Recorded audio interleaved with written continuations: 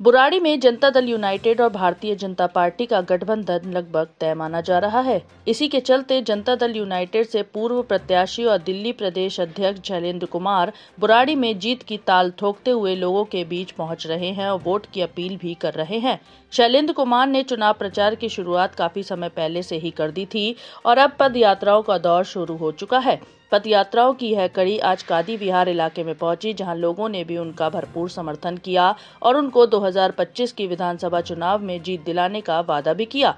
शैलेंद्र कुमार का कहना है कि अगर जनता बदलाव कर उनको मौका देती है तो वो बुराड़ी को पूरी दिल्ली की नंबर वन विधानसभा बनाएँगे और पाँच नहीं, बल्कि दो साल के अंदर ही यहाँ लोगों को काम देखने को मिलेगा। एक्चुअली जीत तो कोई नेता नहीं जीतता। जीतता तो पब्लिक है।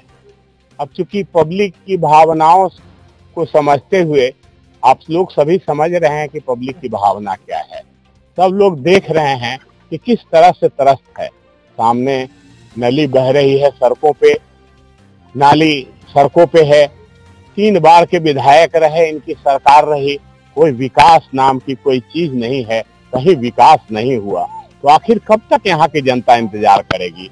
बुढ़ारी के विकास के लिए मेरे लिए बहुत ही बहुत ही स्वर्णिम समय होगा।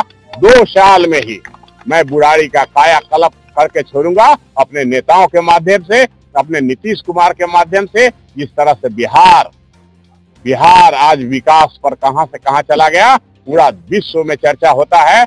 उसी तरह बुराड़ी का चर्चा भी पूरा विश्व, पूरा दुनिया और दिल्ली का नंबर वन विधानसभा बनाऊँगा यही मेरी कल्पना है।